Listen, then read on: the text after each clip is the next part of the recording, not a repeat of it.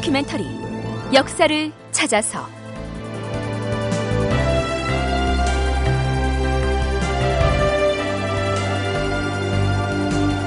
제 349편 충렬왕 정동행성의 장관이 되다. 극본 이상락 연출 임종성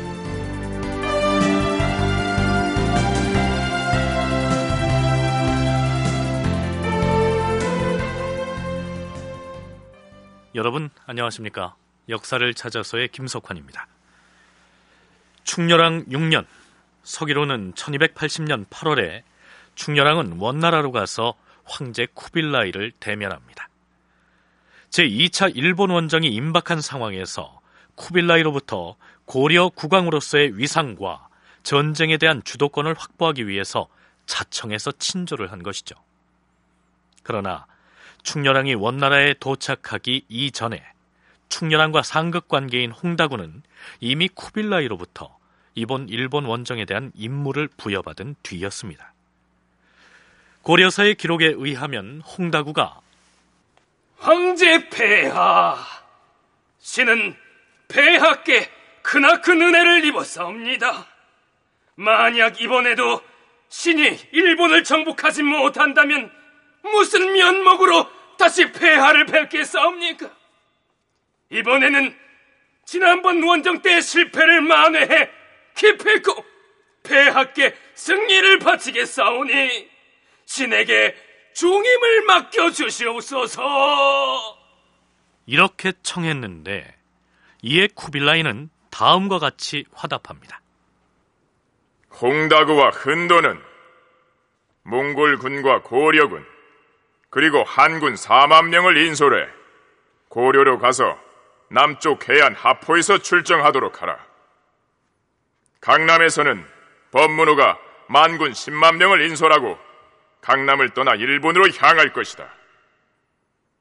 고려의 하포에서 출정한 군사와 강남에서 출발한 법문호의 군사는 모두 일본의 일기도에서 합류하게 될 것이다. 그곳에서 양쪽 군대가 모두 모인 다음에 곧바로 일본을 친다면 이번에야말로 반드시 그들을 격파할 수 있을 것이다. 이렇듯 홍다구는 충렬왕이 원나라에 도착하기도 전에 쿠빌라이로부터 일본 원정에 대한 구체적인 명령을 받았던 것입니다. 한편 원나라에 도착해서 황제를 대면한 충렬왕은 쿠빌라이에게 일곱 가지 사항을 요청합니다. 첫 번째로 아뢰올 것은 저희 고려의 군사 보충에 관한 문제이옵니다. 지난번 1차 일본 원정 직후에 황제 폐하의 명령으로 우리 고려에서는 4천 명의 병력을 탐나에 주둔시켜 왔습니다. 이 군사를 이번 일본 원정군으로 보충할 수 있게 해 주십시오. 충렬왕이 왜 이러한 요구를 했을까요? 당시 원나라가 직할 통치를 하고 있던 제주도에서 고려 군사들을 빼내 일본 원정군에 포함시킨다면 고려 내륙에서 농민들을 추가로 징발하는 것을 면할 수 있을 것이란 계산을 했던 것이죠. 한국학중앙연구원 이강한 교수의 얘기입니다. 아무래도 추가로 내륙에서 병력을 더 증발하기 어려운 상황이니까 일단 그 삼별초 군을 토벌하기 위해서 제주도에 가 있던 고려 병사들을 이쪽 원정에 같이 투입하자. 그래서 내륙의 추가 증병을 이제 막으려고 한 조치인 것 같습니다. 그렇다면 충렬왕이 쿠빌라이에게 요구한 두 번째 요구 사항은 무엇이었을까요? 가능하면 고려군과 한군의 진발을 줄이시고 그 대신에 도리 천모가로 하여금 몽골군을 더 많이 증발하여 진격하도록 칙명을 내리십시오. 충렬왕이 쿠빌라이에게 제시한 이 두 번째 요구 사항에 대해서는 명확한 분석을 하기가 쉽지 않습니다. 다만 쿠빌라이 칸의 일본 원정과 충렬왕이라는 책을 저술한 이승하는 자신의 저서에서 이러한 설명을 곁들이고 있습니다. 이는 홍다구를 배제하고 도리 참모가를 중용해 달라는 요구였을 것이다. 도리 참모가는 1차 원정이 실패한 뒤에 고려의 김해 지역에 주둔해온 원나라군의 사령관이었는데 그 이전의 정확한 경력은 알 수가 없다. 아마도 충렬왕이 홍다구를 배제하면서 대체 인물로 생각한 듯하다. 이승안의 분석이 맞는다면 결국 쿠빌라이가 일본 원정의 주요 지휘관으로 홍다구를 참여시켰으니 이 도리 천모가를 대타로 내세우려던 충렬왕의 요구가 받아들여지지 않은 셈이죠. 세 번째 요구 사항은 두 번째 사항의 연장선상이라 할 만한데요. 이런 내용입니다.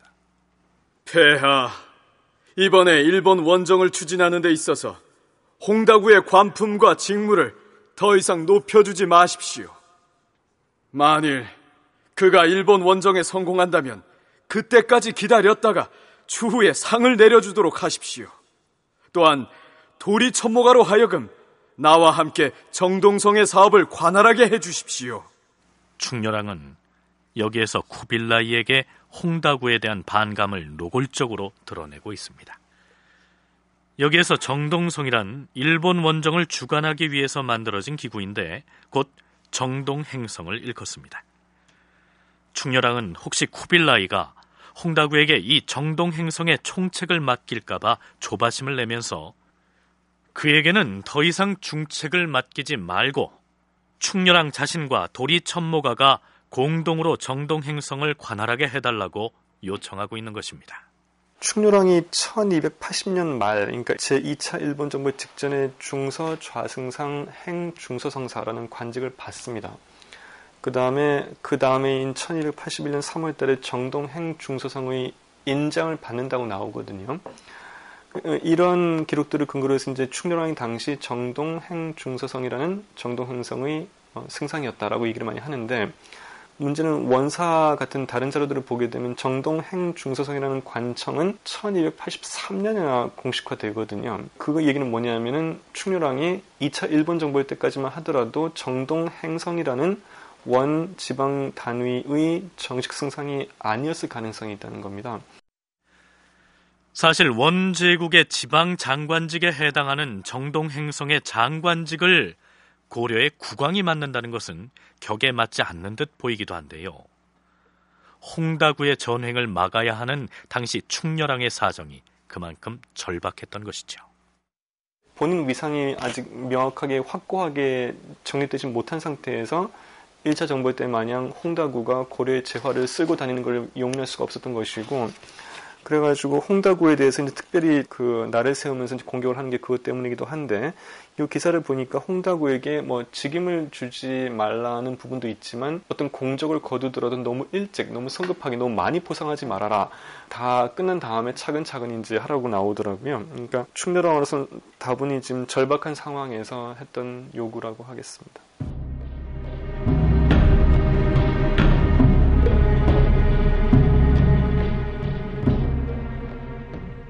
충렬왕의 요구사항은 모두 7가지였지요. 이 나머지 4개의 항목을 한꺼번에 소개하면 이렇습니다. 우리 고려의 군관에게도 모두 패면을 하사해 줄 것을 요망합니다. 또한 전함을 운영할 뱃사공과 수부를 모두 고려에서 조달하라 하지 마시고 중국의 연해 지방에서도 뱃사공과 키자비 등을 충당하도록 하십시오. 그리고 우리 고려에도 안찰사를 보내시어서 고통받는 고려의 백성들을 위문하도록 해주십시오. 마지막으로 고려 국왕인 제가 직접 하포로 가서 일본으로 출정하는 군대와 마피를 사열하여 보내도록 허락하여 주십시오. 대개 이러한 내용이었습니다. 여기에서 충렬왕이 쿠빌라이에게 일본 원정에 참전하는 고려의 군관에게도 패면을 내려줄 것을 요청했다. 라고 했는데요. 이승환은 자신의 저서에서 이 패면은 금패나 은패의 군사 지휘권을 확보해 주기 위한 것으로 판단된다. 이렇게 간단하게 설명하고 있습니다. 이강한 교수는 이때 부여받는 패면이 훗날 고려가 기존의 군제를 몽골식의 만호제로 바꾸는 계기가 되는 것으로 분석합니다. 어, 이후 다 아시는 바이지만 만호제가 고려의 기존 군제를 대체를 하게 되거든요. 근데 이제 이 패면을 하사하면서 이제 뭐 어떤 관료들은 만호가 되기도 하고 어떤 관료들은 천호가 되기도 하고 이렇게 되는데 물론 그 이때 이 만호직을 제수받은 관료들이 이후 그 고려 내에서 발견되는 고려 만호부 뭐 직접적인 연관을 고려는 보이지 않지만 이렇게 고려의 관료들이 일본 정부를 통해서든 그 이후 다른 사건들을 통해서든 원나라 황제로부터 만호직을 다수 제수받게 되면서 고려 내 만호 부제라는 시스템이 정착이 되는 것은 분명합니다. 그거를 의도하고 패면을 하사해달라고 한 것은 아니지만 일단 그 결과로서 만호 부제의 확립을 거론할 수는 있겠습니다. 이 패면에 대해서는 잠시 후에 다시 한번 언급하기로 하죠. 그렇다면 쿠빌라이는 충렬왕의 이러한 제의에 대해서 어떠한 반응을 보였을까요? 고려 왕이 보고한 바를 모두 다 접수할 것이다. 접수한다는 대답이 물론 다 들어준다는 얘기는 아니었지만 홍다구를 도리 천모가로 대체하라는 부분을 제외하면 쿠빌라이가 충렬왕의 제안을 결과적으로는 대부분 수용한 것으로 판단됩니다. 충렬왕의 일곱 가지 제안 중에서 마지막 사항을 주목할 필요가 있을 것 같은데요. 바로 이 대목입니다. 고려 국왕인 제가 직접 하포로 내려가서 일본으로 출정하는 정동 행성의 모든 군대와 마피를 사열하여 보내도록 허락해 주십시오. 일본 원정을 위해서 출항하는 군사들과 마피를 사열하겠다는 것은 원정군에 대한 통수권을 자신이 행사하겠다는 얘기지요. 그 요구까지 관철되었는지에 대해서는 뒤에서 확인해 보기로 하죠. 어쨌든 앞에서 소개한 충렬왕의 일곱 개 요구사항은 정동 행성의 일본 원정 준비를 충렬왕 자신이 주도권을 가지고 진행하겠다는 의지의 표현이었다. 이렇게 요약할 수 있겠습니다.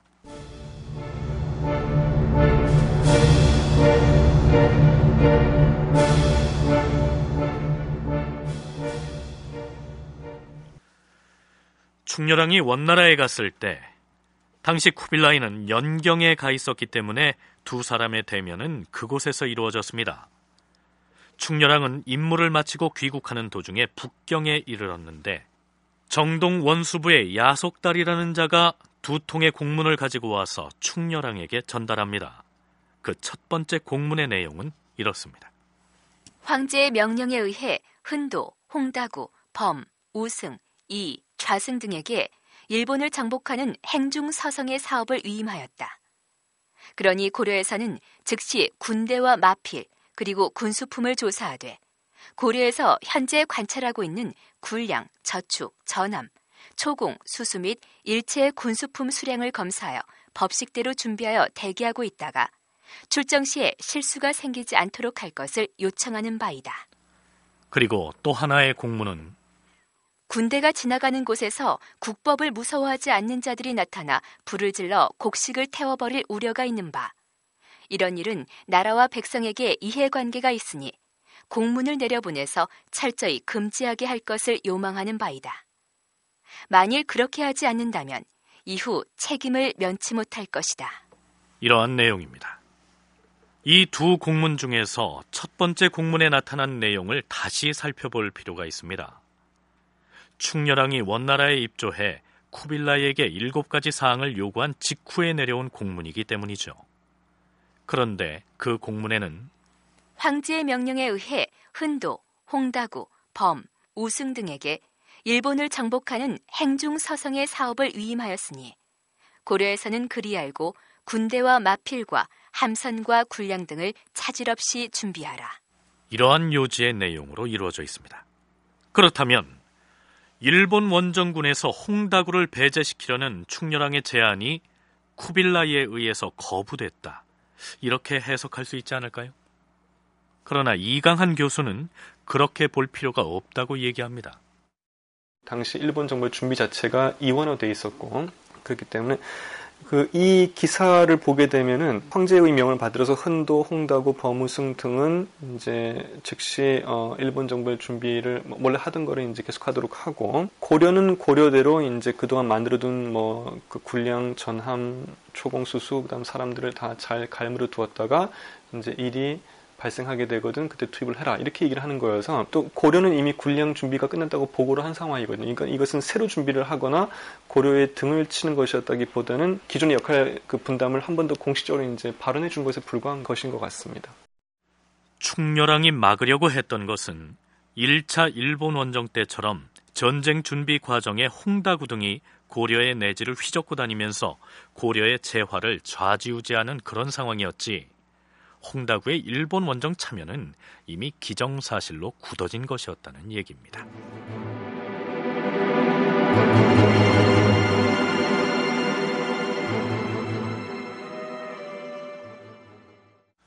원나라 방문을 마친 충렬왕은 그해 겨울에 개경으로 돌아옵니다. 준비가 되었으면 궁인들은 음악을 연주하라!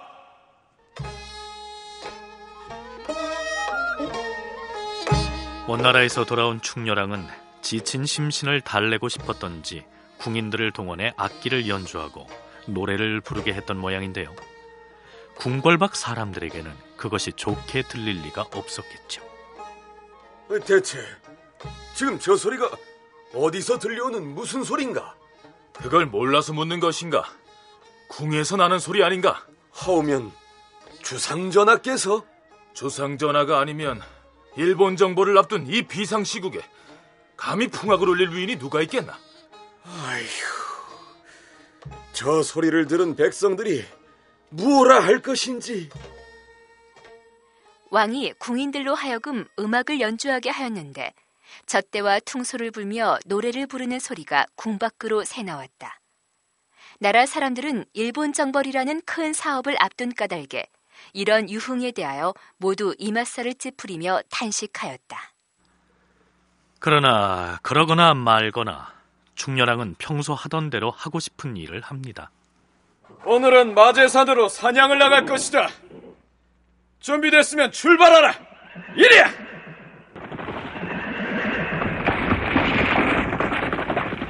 그런데 충렬왕이 원나라에서 돌아올 때 그에게 두 통의 공문을 전해주었던 원나라 조정의 야속달이란 사람이 충렬왕과 함께 고려에 왔다가 남쪽 지방을 돌아보고 나서 재상들에게 이렇게 말합니다.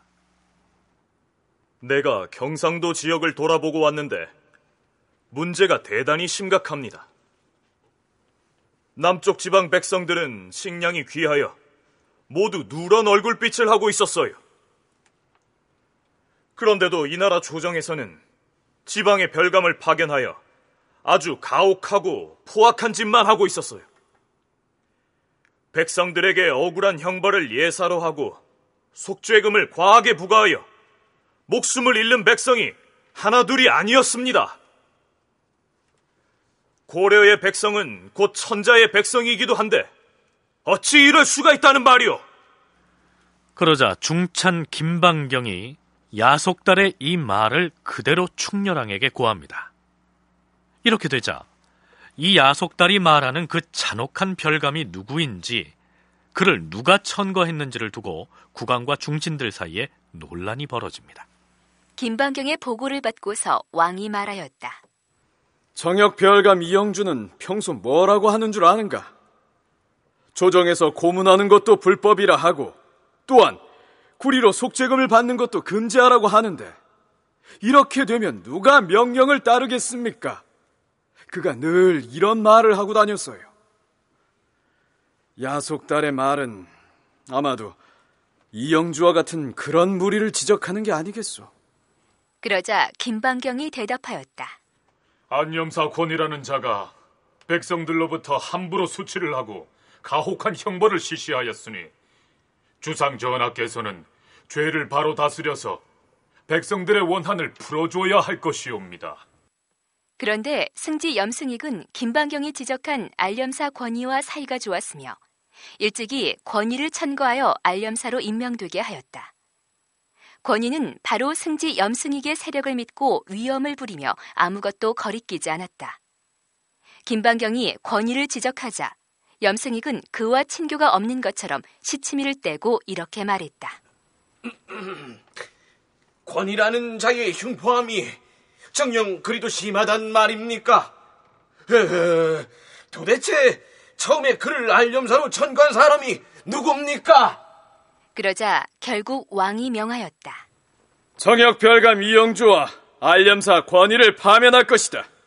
그리고 각 도의 알념사들은 백성들에게 가혹한 형벌을 하지 않도록 하라. 이를 어기는 자는 용서하지 않을 것이다. 그런데 제추 신료들이 권위의 죄상을 다시 아뢰었다. 권의는 음범하고 간사하며 늘 조정에 힘있는 신료들에게 부탁하여 각처의 사신으로 파견됐는데 가는 곳마다 참혹한 짓을 하여 백성들로부터 심하게 거두어 들였고 또 한 번은 기생을 두고 다투다가 정연이라는 진주 사람을 죽인 적도 있사옵니다. 일본 정벌이라는 막중한 사업을 앞두고 이런 자에게는 본보기로서 더욱 엄한 벌을 내리셔야 할 것이옵니다. 그러자 왕이 권위를 귀양보냈다. 제2차 일본 정벌을 앞두고 충렬왕은 원나라 황제로부터 전쟁 준비의 주도권을 확보하려고 동분서주하고 있었는데 그 시기에 고려의 일반 백성들은 타막한 관리들의 가렴주구에 그렇게 시달리고 있었던 것입니다. 원나라 조정에서 파견 나온 야속달과 원로 대신 김방경이 그 죄상을 고발한 이영주와 권희는 처벌을 받았으나 국왕의 측근의 포진에 있으면서 권희를 알렴사로 천거했던 승지 염승익은 멀쩡하게 자리를 지키게 됐으니 충렬왕의 측근 정치의 한계는 어찌할 수 없었던 것이죠. 이 시기에 김방경은 충렬왕에게 다시 한번 치사를 신청합니다. 이 치사란 나이가 많아서 벼슬을 사양하고 물러나는 것을 의미합니다. 주상 전하, 이제 저는 노년에 들어 더 이상 나라를 위해서 보탤 힘이 남아있지 않사오니 치사를 윤허하여 주시면 아니 될 말씀이요. 지금 황제가 일본을 정벌한다는 명을 내렸으니 우리나라에서도 마땅히 원수를 임명해야 할 것 아니겠습니까? 헌데 만일 공이 없는 사람을 원수로 청구한다면 황제가 어찌 생각하겠습니까? 곧 있게 될 제2차 일본 원정에서도 고려군의 원수가 되어달라. 충렬왕의 바람이 그러했던 것이죠.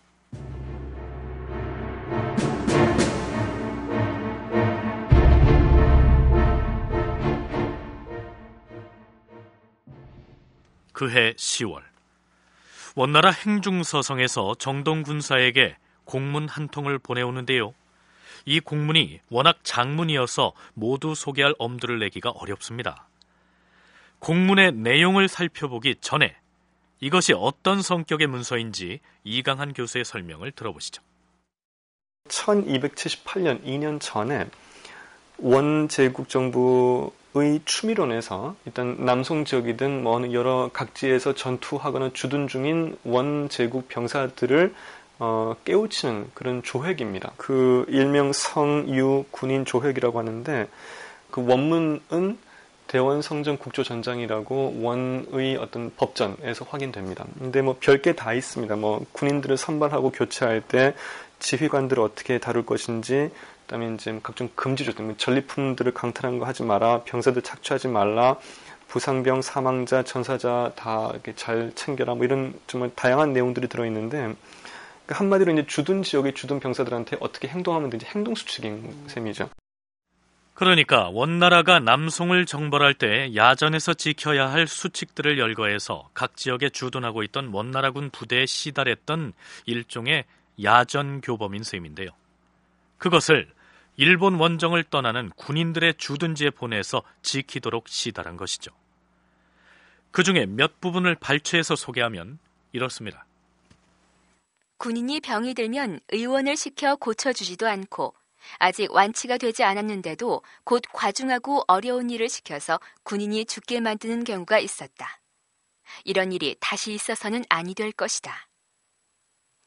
병기와 갑옷, 기타의 물건들이 손상되어도 미리 조사해서 검열해 두지 않고 어쩌다가 죽어나는 자의 검열을 받게 되면 그때야 바삐 서둘러 군인들에게 강요함으로써 빚을 내어서라도 구입하여 보충하게 하는 등 정실과 폐단이 많다.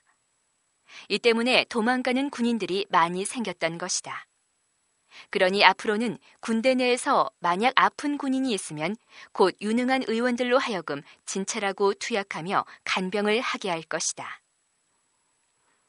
군인들이 전장에서 적군과 전투하다가 사망한 자가 있으면 그 직속 상관에게서 사실대로 보고를 받고 보증서를 다시 받아서 예에 따라 상을 주어야 할 것이다.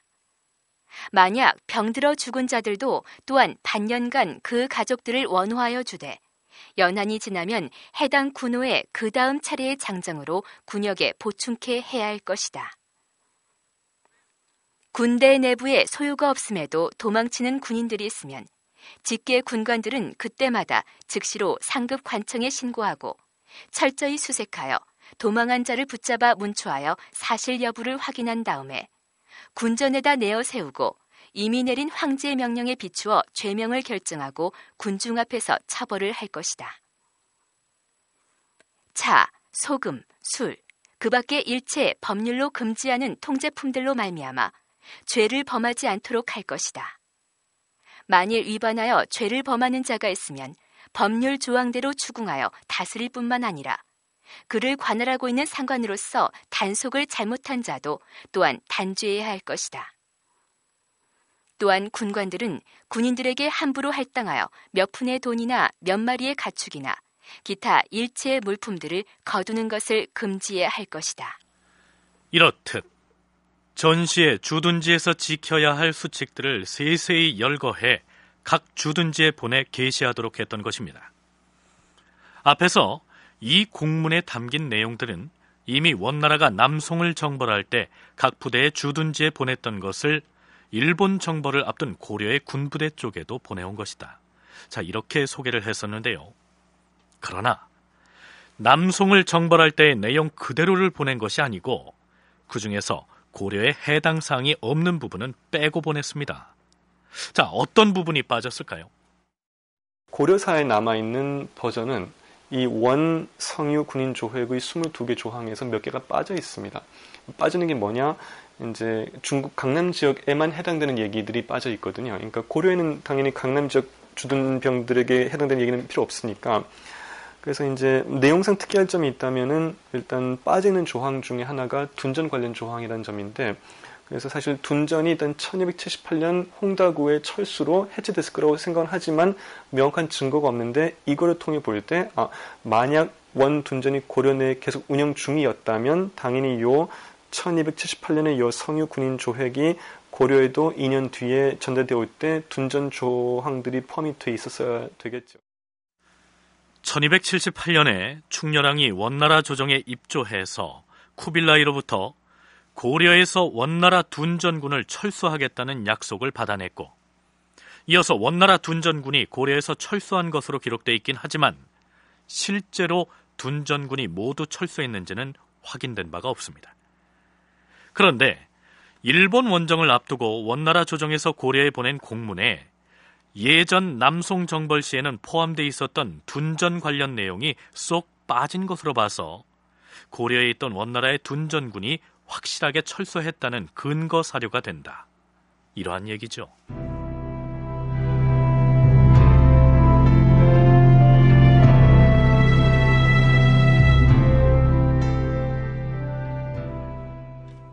고려에서는 원나라 조정의 지시대로 일본 원정을 위한 재반 준비를 진행하고 있었으나 황제 쿠빌라이로부터 얻어내지 못한 것이 있었습니다.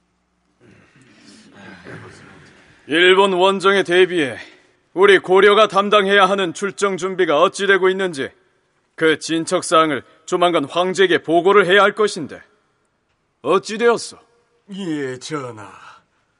이미 병선 900척하고 그 선박들을 운행할 사공 1만 5천 명을 확보하였사옵니다. 음, 군량은 어찌 되었습니까? 중국식의 석으로 계산하여 11만 석의 군량을 준비했고 그 밖에 기자재들을 비롯한 군수품들도 우리가 할 수 있는 한 최선을 다하여 마련했사옵니다. 하운데 원나라 당국에서 아직 우리 주상전하께서 요구하신 직임을 내려주지 않은 것은 심히 유감이 옵니다. 그렇사옵니다. 이렇게 지체하다가 또다시 예전의 1차 원정 때처럼 홍다구 등이 고려로 건너와서 전행을 일삼을까 우려되옵니다. 그런 일이 있어서는 아니 될 것이옵니다. 중서성에 공문을 보내서 황제가 우리 주상전하의 위상에 걸맞는 직임을 내려주도록 체근을 해야 할 것이옵니다. 당장에 사신을 보내시옵소서. 알겠소. 우승지 조인규와 대장군 인후를 원나라에 파견할 것이니 준비를 서두르도록 하시오. 이렇게 해서 충렬왕은 사신을 파견하면서 중서성에 표문을 써보내는데요. 앞부분에 전쟁 준비 사항을 열거해 보고한 다음에 이러한 내용을 추가하고 있습니다. 황제 폐하, 제가 예전에 원나라에 갔을 때 일찍이 정동 행성의 일을 맡아볼 것을 황제께 청한 바 있었습니다. 헌데 아직도 명확한 지시가 없으니 어찌된 일인지요. 생각건대 제후로서 조정에 들어가서 재상이 되는 것은 옛날부터 내려오는 항례입니다. 요나라와 금나라 두 나라에서 우리의 선대 왕들에게 개부의 동삼사라는 작호를 내려서 책봉을 하였으며 저도 역시 황제의 은혜를 입어 특진 상주국으로 임명된 일이 있었습니다. 바라건대 정동 행성으로 하여금 군사 관계의 모든 대소 사건과 국가 사업에 대하여도 반드시 저와 상의한 후에 시행하며 사신을 조정해 보낼 때에도 반드시 저의 사신과 함께 동행하게 해주시기를 바라는 바입니다. 자, 여기까지는 쉽게 말해서 충렬왕이 쿠빌라이에게 일본 원정을 위해서 설치한 정동 행성의 장관직을 맡게 해달라고 재차 요구하는 내용이죠. 충렬왕이 쿠빌라이에게 정동 행성의 총책임을 맡아 관장할 수 있도록 해달라고 재차 독촉하는 내용의 표문을 보낸 데에는 정동 행성에서 충렬왕에게 보낸 공문의 격식 때문에 마음이 상한 탓도 있을 것입니다. 이것이 행성에서 우리 주상전하께 보낸 서찰입니다. 모두들 한번 읽어보십시오. 이래서는 안 되는 것입니다. 우리 주상 전하는 고려의 국왕이십니다. 또한 황제 부마십니다. 한데 이 서찰을 보면 도무지 예와 격식을 갖추지 못하고 있습니다. 중서성에 편지를 보내서 행성 책임자들의 무례를 짚고 넘어가야 합니다. 암 그래야지요. 그래야고 말고요. 그래서 표문에 추가된 내용이 이렇습니다. 황제 폐하, 요즘 행성에서는 저에게 공문을 보낼 때에 이상과 같이 고려 국왕에게 묻는다. 이런 식으로 글을 쓰는가 하면 비봉의 겉에는 이 서찰이 국왕에게 도착하면 열어볼 것이라는 문투로 써내보내는데 중서성에서 보내온 공문들을 상세히 살펴본즉 그 글자를 조심하여 썼고 종이도 두터운 것을 썼으며 개개의 공문마다 청컨대 잘 받아보시라 등으로 되어 있습니다. 여기에 비하면 행성에서 보낸 문서의 문투들은 대체 어떤 격식에 따른 것인지 명백하지 않습니다. 제가 생각하건대 행성은 부마들에게 부득이 편지를 보내야 할 경우에는 마땅히 지켜야 할 문투와 격식이 있을 것입니다. 예전에 동년과 국왕은 저의 부왕인 원종 임금께 한 번도 직접 편지를 보내는 일이 없었고 반드시 다루가치에게 하달하였습니다. 바라건대 피차간에 왕래하는 공문의 문투와 격식을 결정해서 회부하여 주시기를 바랍니다. 자신에게 보내온 문서 격식이 자신이 원하는 만큼의 위상을 인정하는 맥락에서 나온 것이 아니라 이제 자신의 불안정한 위상을 확인시켜 주는 정황으로 해석이 되었던 것 같아요. 충렬왕으로서는 그렇기 때문에 이제 이것을 사실 이 부분은 굉장히 정중한 어투로 좀 문제 제기를 하고 있지만 좀뭐 똑바로 해라 이런 식의 좀 고려 홍다구도 일단 충렬왕이 요구해가지고 일단 일선에서 빠진 거니까 그 2차 일본 정벌 를 위한 고려 쪽 정비는 내가 전담을 해야 되는 상황인데 좀 그만한 역할과 위상을 인정해 달라라고 좀 얘기하는 것 같습니다. 이때 중서성에 보낸 공문의 내용 중에 눈에 띄는 한 대목을 더 소개하도록 하죠. 듣건대 장차 5, 6월에 바닷길을 떠나 일본으로 출발할 것이라고 하는데 우리나라는 해마다 5, 6월이 되면 장마가 그치질 않고 조금만 서풍이 불면 바닷길에 안개가 차서 앞이 어두우니 혹시 출발이 연기되어 오래 체류하다가 바다로 떠나지 못하게 된다면 가을까지의 식량과 배에서 먹을 식량은 또 어떻게 공급할 수 있겠는지. 다만 군대와 백성이 식량 부족으로 고난을 겪게 될까봐 두려워하는 바입니다. 여기에서는 군량 부족 사태가 올까봐 걱정하는 내용으로 기술되어 있습니다. 5, 6월에 원정을 떠났을 경우 날씨가 문제가 되지 않을까 걱정을 하고 있는 점을 주목할 필요가 있습니다. 자, 태풍으로 낭패를 당할지 모른다는 점을 미리 경고하는 것처럼 보이지 않습니까?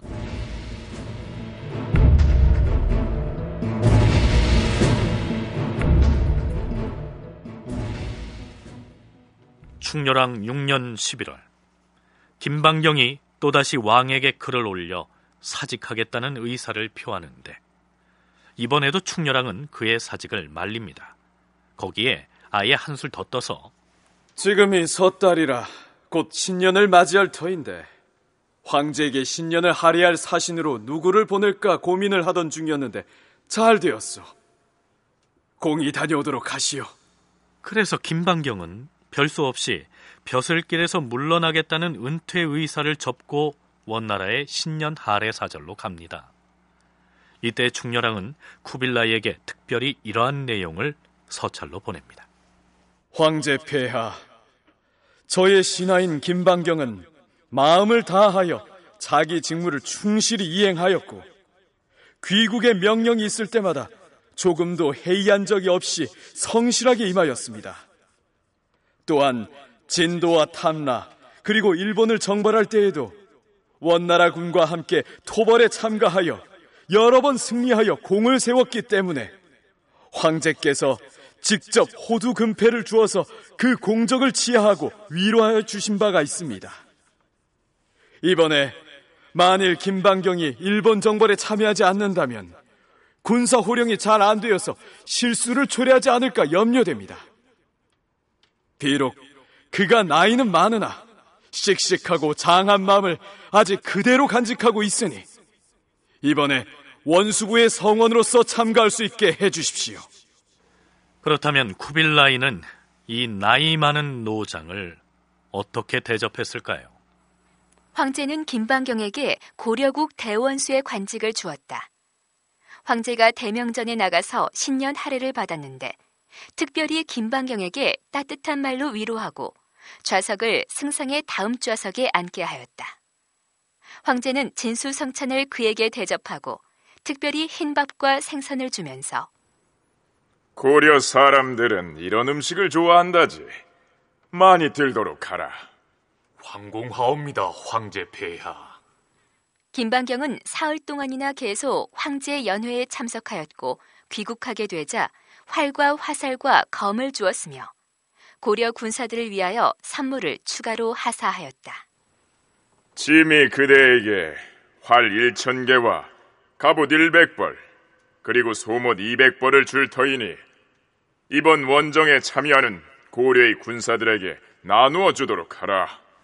이렇게 해서 김방경은 제2차 일본 원정에도 고려 군사를 지휘할 원수의 자격으로 참여하게 된 것입니다. 그리고 얼마 뒤 원나라에 갔던 사신 조인규와 인후가 돌아옵니다. 충렬왕이 궁궐의 서문 밖까지 나가서 이들을 맞이합니다.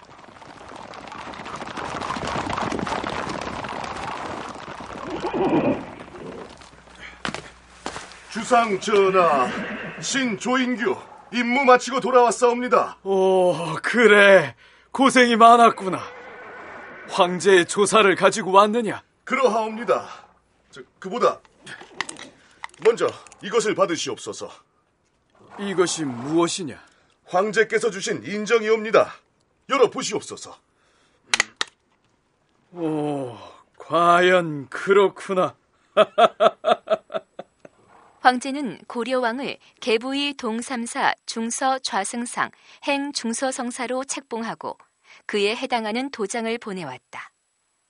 또 김방경을 중봉, 대부 관령, 고려군, 도원수, 지밀직사사로 박구와 김주정을 소용 대장군, 좌우, 부도통으로 각각 임명하고 그들에게 모두 다 호두 금패와 도장을 주었고 조인규를 선무장군 왕경, 단사관 겸 탈탈화손으로 임명하고 금패와 도장을 주었으며 박지량 등 10명을 무덕장군 관군 천호로 임명하고 금패와 도장을 주었다. 또한 조변 등 10명을 소신 교위 관군 총파로 임명하고 은패와 도장을 주었으며 김중성 등 20명을 충현 교위 관군 총파로 임명하였다. 드디어 일본 정벌에 참가할 고려의 장수들이 황제로부터 임무를 부여받은 것입니다. 무엇보다 충렬왕이 쿠빌라이로부터 중서 좌승상 행중서성사로 책봉받음으로써 이제 정동 행성의 총책임자의 지위를 부여받은 것이죠.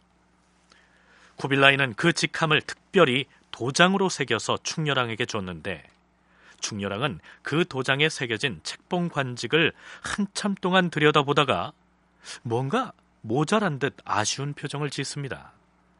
그리고 드디어 쿠빌라이에게 사람을 보내서 한 가지를 더 주문합니다. 황제 폐하, 도장에 관직을 새겨 내려주신 은혜 감사합니다. 헌데 한 가지 청이 더 있습니다. 저는 이미 폐하의 공주와 결혼을 하였습니다. 하오니 이미 내려주신 작호에다 부마라는 두 글자를 추가하여 다시 내려주십시오. 그동안 자신이 쿠빌라이에게 꾸준히 요구했던 정동 행성의 장관직을 드디어 얻어냈는데 거기에다 굳이 부마라는 말을 추가해달라고 요구했다는 얘기죠. 물론 부마란 황제의 사위라는 말이죠. 고려라는 독립왕조의 국왕에게 오히려 황제의 사위라는 의미의 부마라는 표현을 보탠다는 것은 지금 우리가 생각하기에는 자존심 상하는 일일 것 같은데요. 이 충렬왕은 어찌해서 그러한 요구를 했던 것일까요?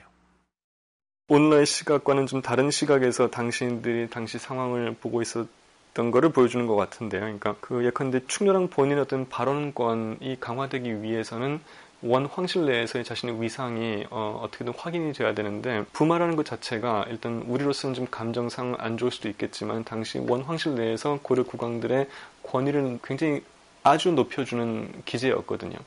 일단 부마가 되게 되면 이제 황금 시족의 일원이 되는 거니까 그 황제와의 관계 또는 황실 여러 멤버들과의 관계가 이전과는 현저하게 달라질 수밖에 없습니다. 그래서 부마 국왕이라는 것이 딱 공식적으로 이제 선포가 되게 되면은 그 충렬왕으로서는 자신의 위상이 확고해지는 것은 물론이고 향후 원 정부와 뭐 협상을 할 때 훨씬 더 유리해질 것이었기 때문에 쿠빌라이로서는 기왕에 내려줬던 작호에다 자신의 사위임을 나타내는 부마라는 두 글자를 더 얹어달라는 충렬왕의 요구가 싫지는 않았겠죠. 원나라에서 왕에게 부마국왕 3명 정동행 중서성이라는 인장을 보내주었다. 그 작호를 받기 이전에도 충렬왕이 쿠빌라이의 부마였던 사실이야 의심할 바 없는 사실이었겠죠. 하지만 공식적으로 부마임을 인정받았다는 점이 다르다면 다르다고 하겠죠. 그렇다면 이 부마라는 두 글자를 공인받음으로써 뭐가 달라진 게 있었을까요? 전하, 원나라 황제께서 홍다구와 흔도를 보내왔사옵니다. 뭐라? 홍다구와 흔도를? 그들은 지금 어디 있느냐? 전하를 아련하려고 대기하고 있사옵니다. 알겠느니라. 나갈 것이다. 그런데 고려사와 고려사 저료에는 원나라에서 흔도와 홍다구가 왔다는 기사 바로 뒤에다 이러한 내용의 기사를 슬쩍 붙여놨습니다. 이때 동북면에서 이행리가 조정의 부름을 받고 와서 왕을 배웠는데 그는 두세 번 올 때마다 더욱 공손하고 경건함으로 왕이 이렇게 말하였다. 그대는 본래 양반의 집안에서 태어나 자랐으니 어찌 스스로의 근본을 잊었겠는가? 지금 그대의 행동을 보니 마음가짐을 충분히 알고도 남겠느니라. 변경 지역인 동북면 지방에 있던 신하가 임금의 부름을 받고 조정으로 왔다면 뭐 공손하게 구는 것이야 지극히 당연한 일일 텐데 양반 가문의 출신이어서 그렇다느니 뭐 마음가짐이 특별히 경건하다느니 이러한 식으로 사서에다 찬사를 잔뜩 늘어놓은 이유가 무엇일까요? 동북면에서 왔다는 그 이행리라는 사람이 누구냐면 훗날 조선을 건국한 이성계의 증조부입니다. 고려사를 펴낸 조선시대 학자들에게는 자신들이 충성을 바치고 있는 이씨 왕조의 조상이기 때문에 그러한 식의 표현을 삽입해 놓은 것이죠. 그건 그렇고 폐하, 북쪽에 앉아서 남양을 하시옵소서. 음, 알겠느니라. 왕이 흔도, 홍다구 등과 더불어 일본 원정 사업에 대한 토의를 하였는데 왕은 남쪽을 향하여 자리를 잡고 흔도와 홍다구는 동쪽을 향하여 자리를 잡았다. 원나라 사신이 왕래한 이래로 왕과 사신이 동서로 나눠 앉아서 서로 대면해 왔는데 이번에는 흔도와 홍다구 등이 감히 대등한 예식으로 대하지 못하니 나라 사람들이 크게 기뻐하였다. 쿠빌라이가 부마라는 명칭을 공적인 작호에 새겨 넣어 주었기 때문에 흔도와 홍다구 등이 감히 황실의 일원인 부마 왕과 대등하게 마주서서 바라볼 엄두를 못 냈다. 이러한 얘기입니다. 한국학 중앙연구원의 이강한 교수와 인천대 이형우 교수의 얘기를 이어서 들어보시겠습니다.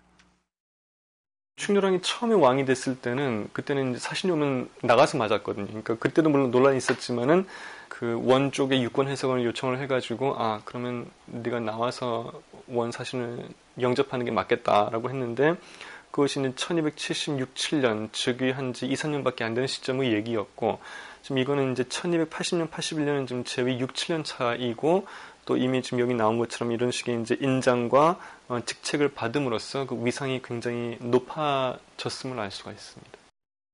그 충렬왕 같은 경우에 왕위에 오르기 직전에 이제 원 쿠빌라이의 딸과 결혼을 해가지고 부마가 되었지만 그렇다라고 해서 공식적으로 뭐 부마의 지위를 인정받는 뭐 이런 게 없어서 충렬왕이 자기 관직에다가 공식적으로 부마가 들어가는 관직을 좀 하사해 줄 것을 뭐 요청을 했고 이것이 공식적으로 받아들여진 다음에는 그 원나라의 그 신하들이 충렬왕을 대하는 태도가 달라졌다는 것이 이제 기록에 나오는데 그전에는 같은 신하로 해가지고 서로 마주보면서 동서로 서서 마주봤는데 이렇게 부마라는 관직을 받은 이후에는 충렬왕이 남양을 하고 왕으로서 섰고 그들은 신하로서 섰다.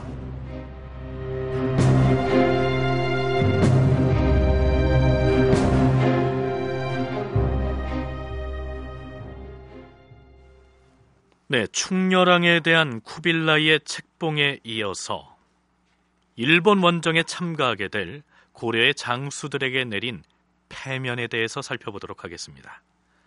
자, 애당초 고려에서는 쿠빌라이에게 이렇게 요청했었죠.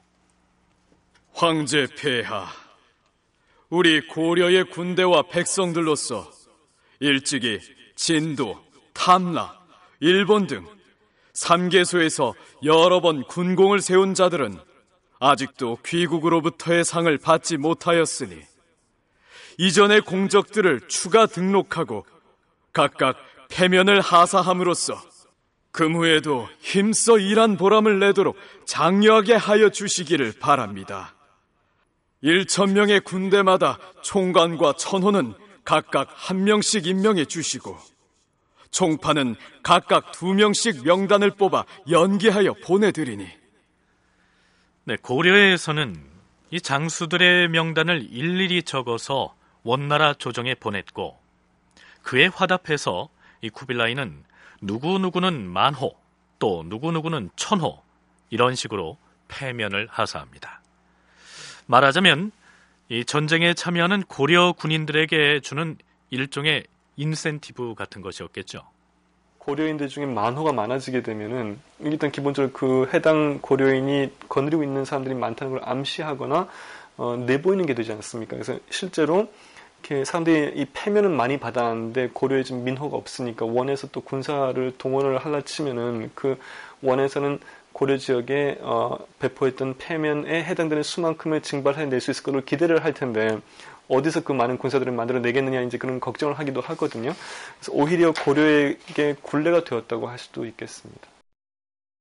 네, 본래 만호는 글자 그대로 일만의 민호를 제공하고 또 천호는 일천호를 준다는 의미지만 반드시 그렇다기보다는 그저 몽골식의 관등으로 이해하면 될 것 같습니다. 어쨌든 이때 이후로 고려의 군제 역시 이른바 만호제로 바뀌게 된다는 것이 이강한 교수의 설명입니다.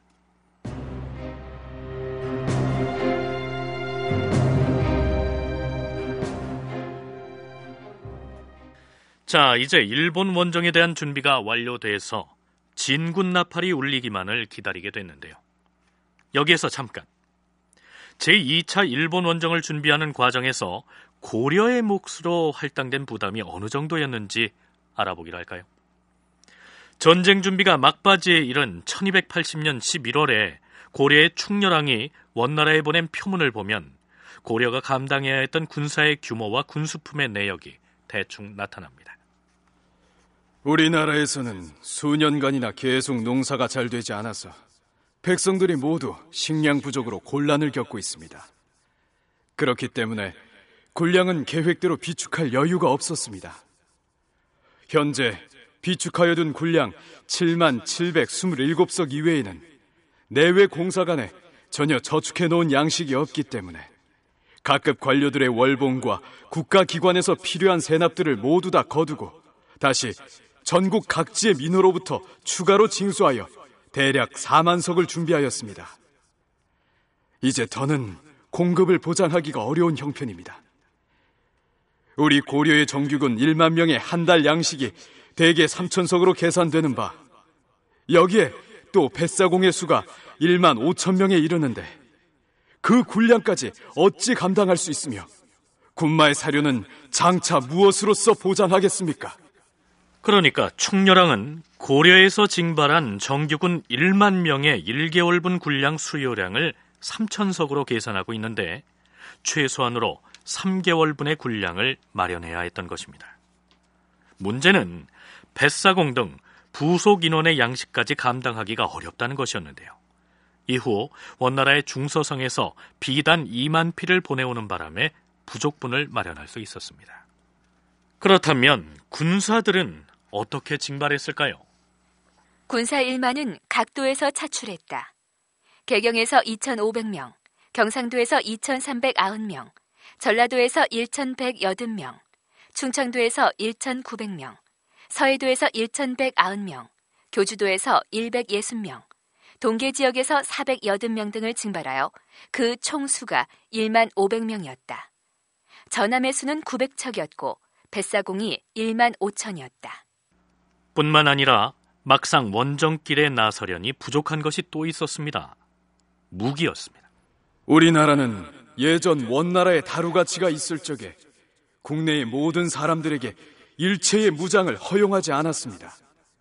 쓸만한 활과 화살을 가진 것이 있으면 심지어 포수들의 소유물까지도 모두 거두었고 또 이전에 일본 정벌 때에 5,300명의 군인들이 가지고 간 갑옷과 활과 화살들은 대부분 손실되거나 망실되어 버렸기에 겨우 남은 것을 수습해서 관청 창고에 보관해 두었는데 실제 쓸만한 물건이 못 됩니다. 이번에 새로 모집한 4,600명의 군인들은 본래부터 병기와 기자재가 하나도 없으니 무엇으로서 몸을 방어하겠습니까?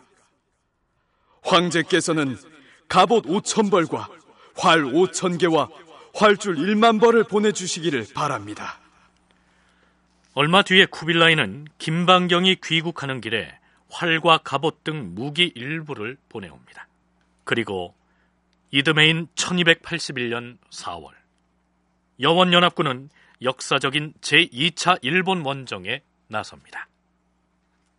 다큐멘터리 역사를 찾아서 다음 주 이 시간에 계속하겠습니다.